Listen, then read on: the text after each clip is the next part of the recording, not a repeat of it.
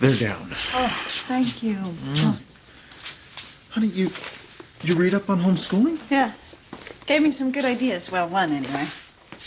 Great. What what have you got? Well, you know how we both agree that one of us needs to stay home and parent the kids, and one of us needs to go off and make a living. Uh-huh. And then I suddenly remembered that when I was working, I made a little more than you. What are you doing? You tossed out that little sacrifice comment a while ago, and it occurred to me I've made sacrifices over the past six years. I gave up my career. If another sacrifice has to be made, I think it's your turn on the merry-go-round. L- Lynette? So if I went back to work, then you could stay home and take care of the kids. I, I can't be with the kids all day. I'd, I'd lose my mind. Aha.